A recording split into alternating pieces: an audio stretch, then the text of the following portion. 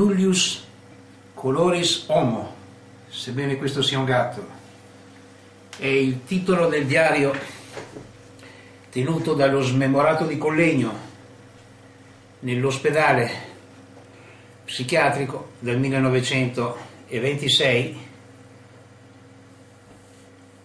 al 1927. Questo era l'unico modo per tenere quei Mitchell.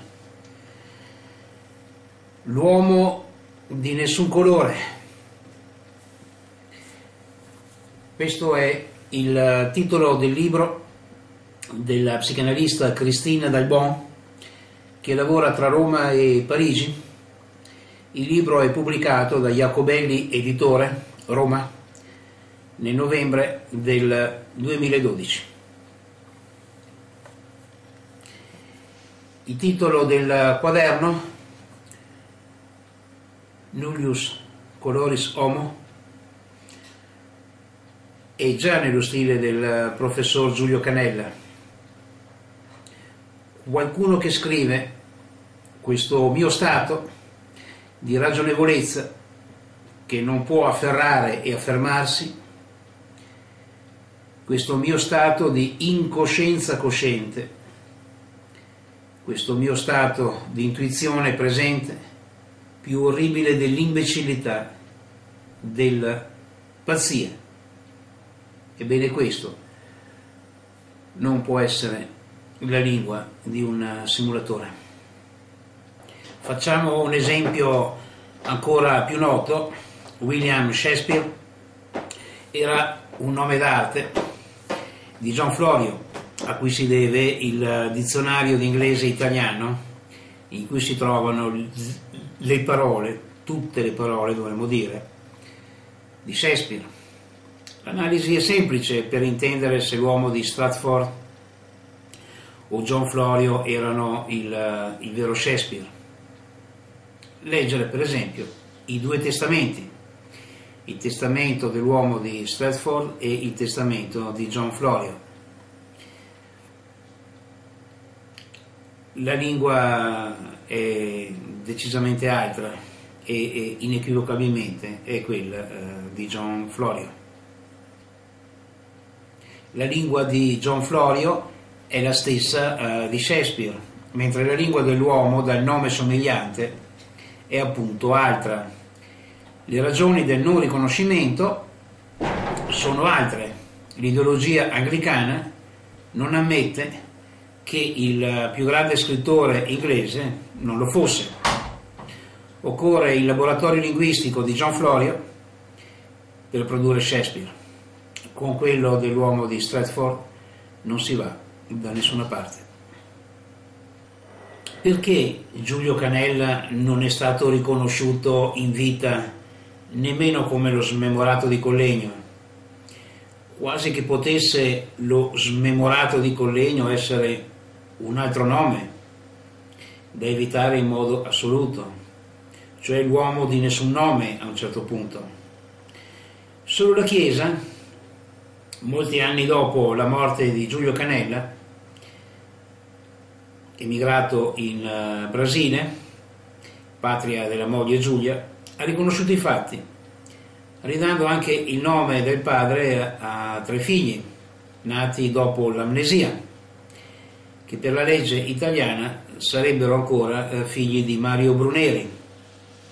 Il nome dell'altro, il pretendente al nome che ha fatto perdere le sue tracce eh, per sempre, il cui reperimento tra l'altro avrebbe permesso già all'epoca eh, di non uh, aprire il varco a questa estrema ingiustizia.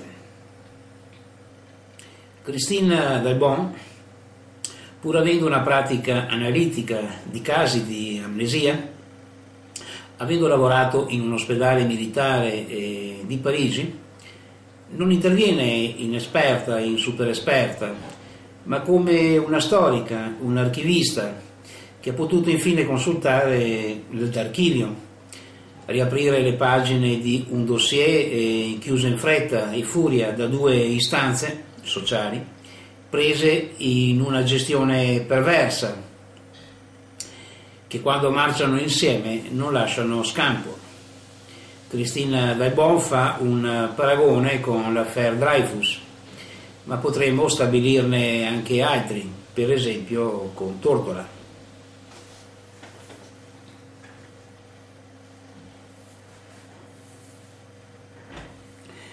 Christine Daibon apre gli archivi in modo civile, confronta le testimonianze, legge gli inediti e pone questioni inerenti solo a questi materiali. Annota eh, più di una volta che la lettera anonima che scatena la caccia al nome di Giulio Cannella non si trova in nessun archivio. Peraltro, se noi cerchiamo una teoria del nome o una teoria dell'impostura, non la troviamo nel libro di Cristina Del Bon, che ha ridotto al minimo le questioni psicanalitiche emergenti dai documenti. È una scelta di scrittura, civile e non teorica, anche se peraltro il suo lavoro d'archivista non è andato senza teoria, nel senso che non è un caso che sia una uh, psicanalista a occuparsene.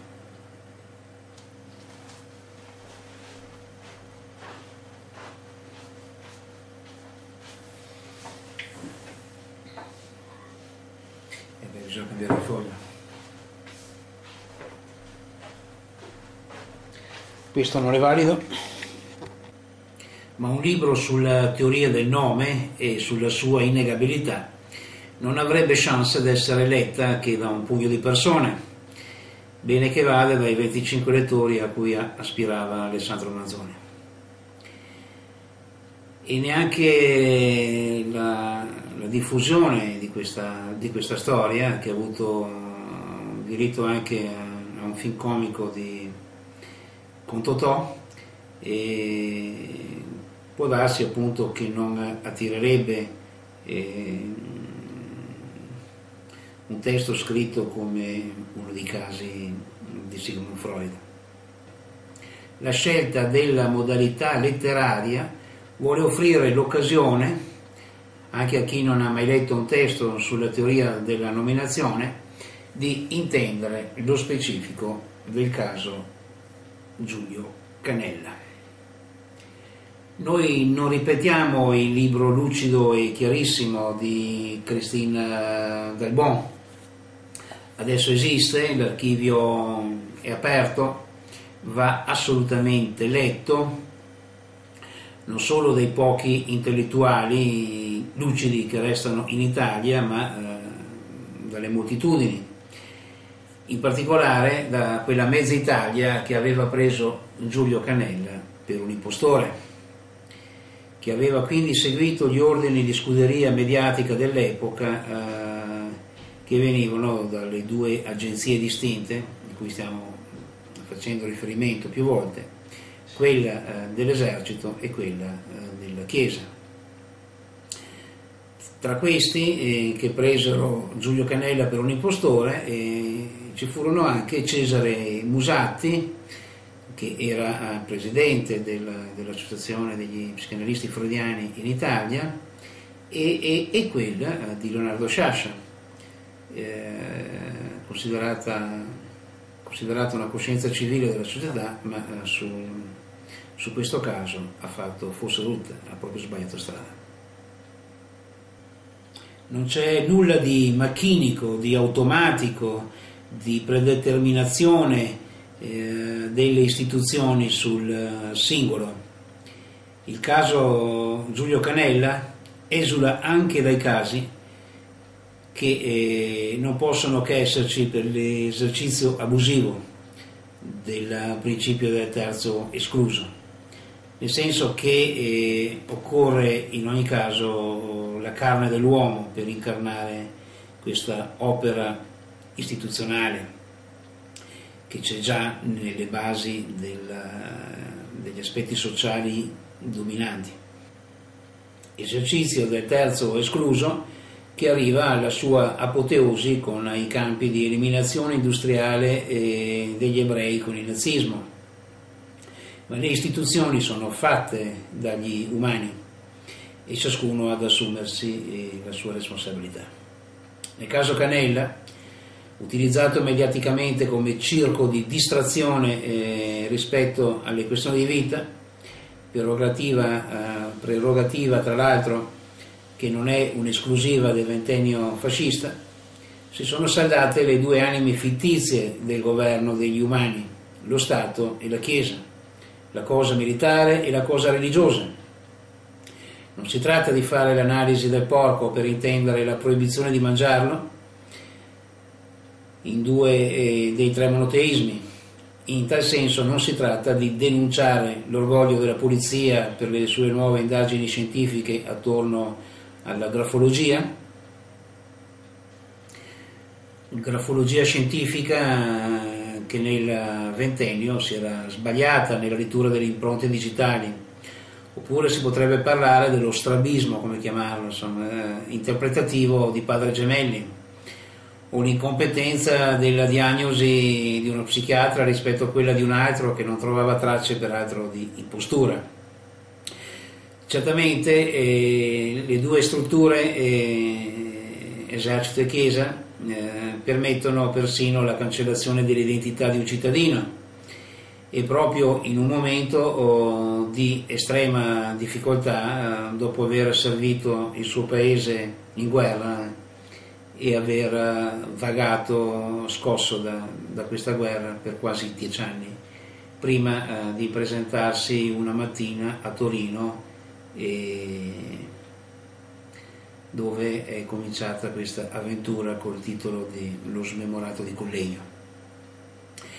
Ci sono vari responsabili, dall'anonimo delatore eh, di un'impostura eh, e, e, e, poi appunto la, la, cioè, eh, l'impostore è l'anonimo denunciante e poi l'accusa eh, di impostura è quella che pende sul, eh, su Giulio Canella a Padre Gemelli e alla sua nomea che ancora oggi risuona, no?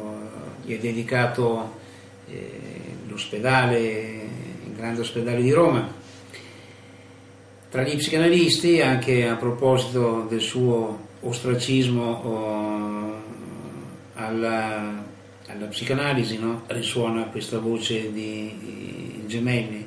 Quando noi rifacciamo la storia della psicanalisi in Italia, ci accorgiamo che eh, eh, un baluardo contro l'introduzione della psicanalisi è stato, è stato proprio padre Gemelli.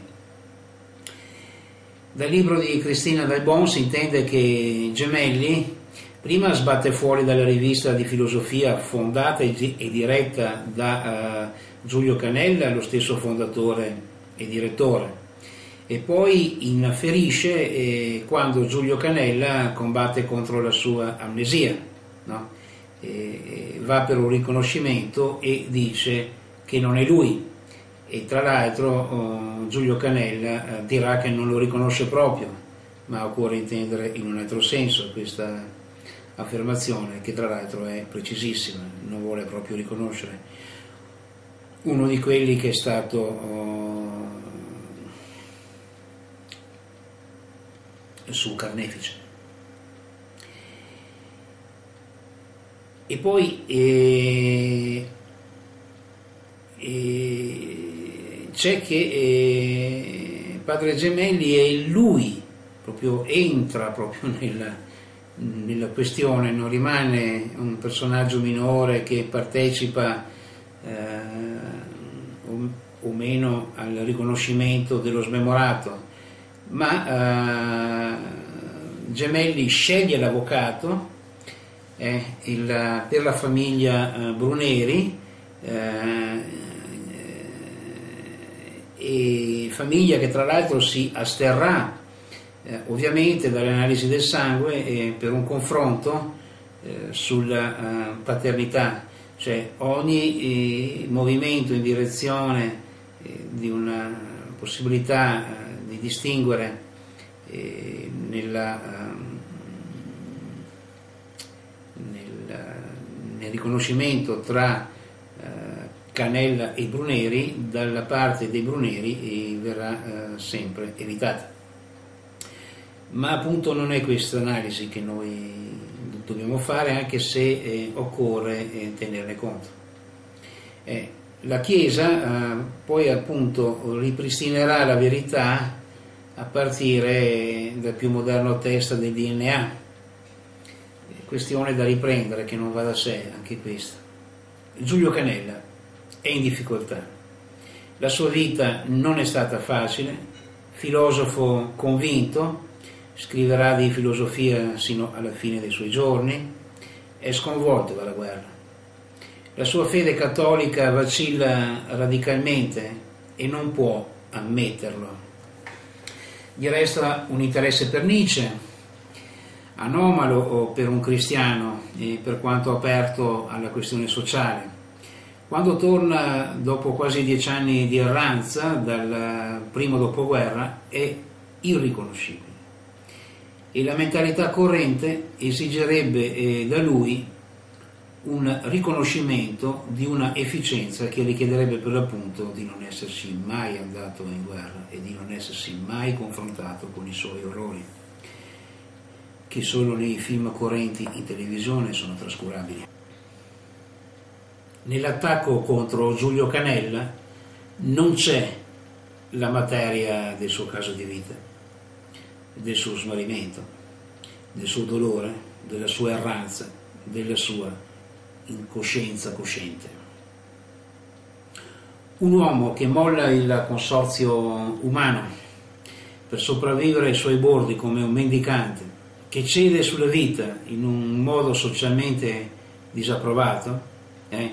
coloro che cedono oh, in modi socialmente approvati apparentemente invece tengono, eh, come i bevitori incalliti in pubblico, ma questo ancora eh, adesso oh, per esempio non è permesso alle donne.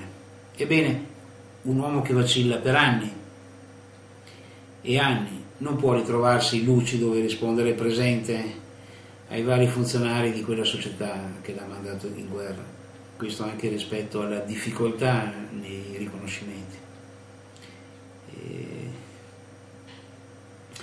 la facilità dell'accusa di impostura e il suo seguito di teoria sessuale infantile che un altro si sarebbe spacciato eh, per Giulio Canella per sopravvivere in una vita per interposta persona, eh, per godere dei favori di una donna che avrebbe accolto un sostituto eh,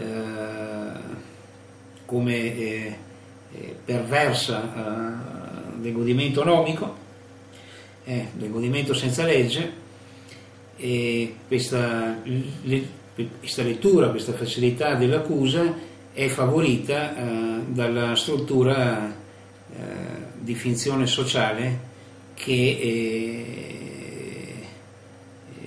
dalla filosofia alla psicanalisi, all'antropologia eh, e non solo in Francia dove è sorta viene chiamata soggetto.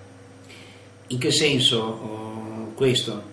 Secondo una lettura semplicistica di Totem e Tabù eh, di Freud, eh, ognuno vivrebbe come il sosia di se stesso, sarebbe, vivrebbe da travestito, da travestito eh, dell'animale totemico. No?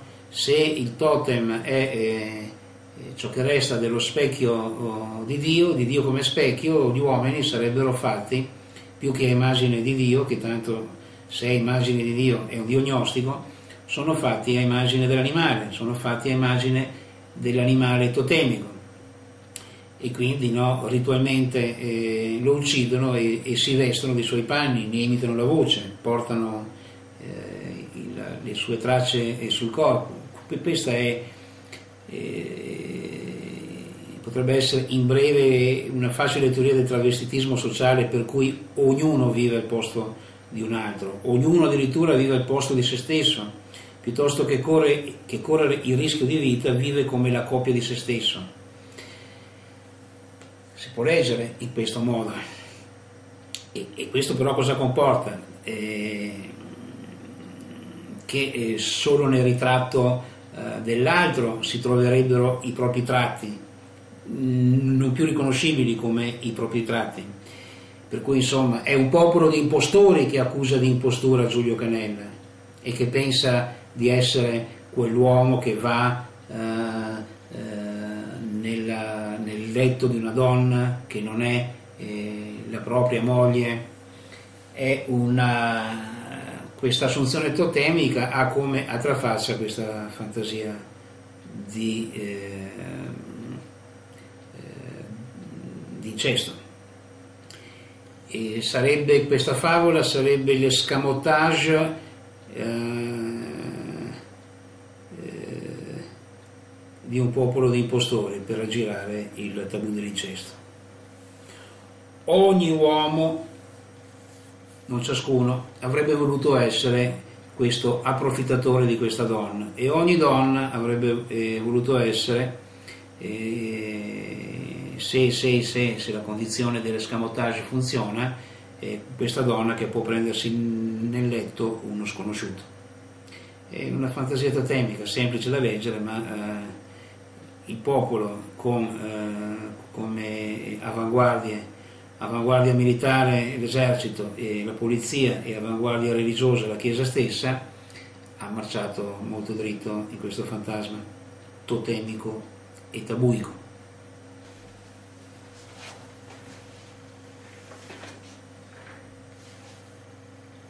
Riconoscere nell'altro l'impostore è il modo più banale di non accorgersi di vivere la propria vita come un impostore.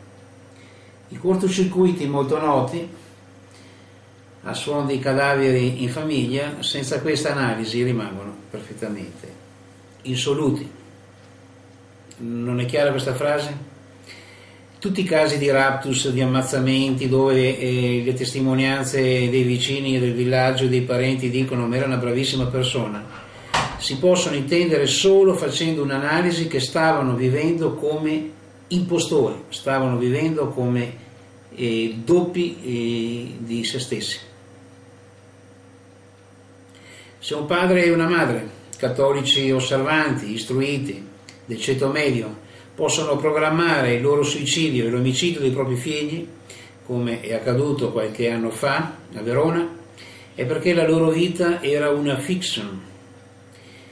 I casi sono legione, questo in modo laico quasi non si può dire, è tollerato se rientra almeno nel solco religioso. Infatti, nel caso della strage citata, il vescovo nell'omelia intervenne contro l'assenza di valori religiosi nella società, per poi zittirsi nella constatazione che i colpevoli e gli innocenti di quella famiglia ogni domenica erano in chiesa e tutti li stimavano come timorati di Dio. Ovviamente anche la passione per la caccia e i fucili in casa non possono quasi mai diventare materia di analisi, nemmeno dopo la recente strage negli Stati Uniti, perché la questione non è semplicemente, anche se c'è, quella di eh, ridurre o, o, o proibire eh, il porto d'armi nelle case.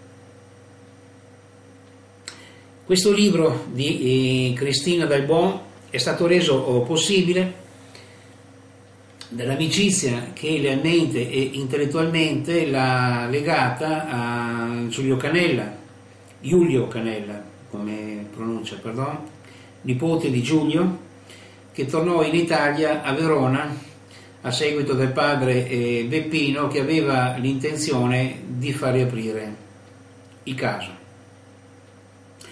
ma la vita non gli ha dato il tempo occorrente. Giulio ha aperto le porte a, Christine Dalbon che ha letto l'archivio di famiglia Canella, della famiglia Canella conservato nel uh, seminario vescovile.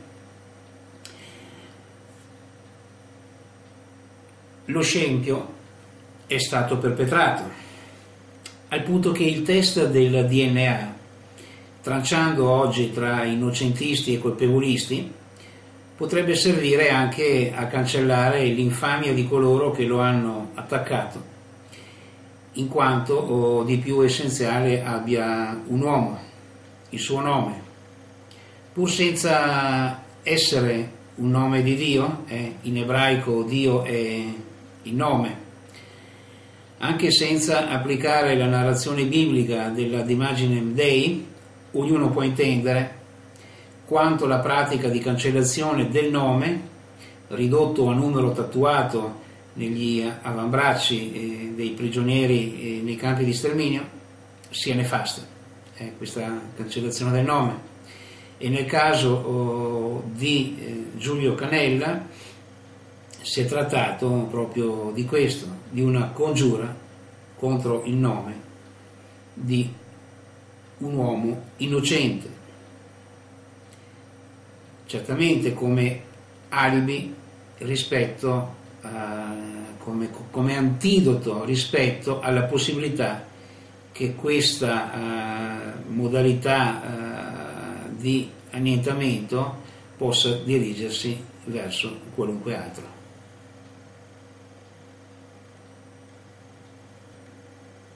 Un altro paragone, sempre peraltro impossibile, e sarebbe da fare con K nel processo di Franz Kafka, ma Giulio Canella è un caso di vita estrema, non è un caso letterario. La lettura non è del DNA, ma dello stile di scrittura di Canella. Bastava leggerlo per accorgersene. È quello che ha fatto oh, Christine uh, Dalbon con l'uomo di nessun colore. La vera storia dello smemorato di Collegno, libro che è tradotto dal uh, francese eh, a cura di Camilla Testi, con una uh, presentazione del nipote di Giulio Canella, Giulio Canella.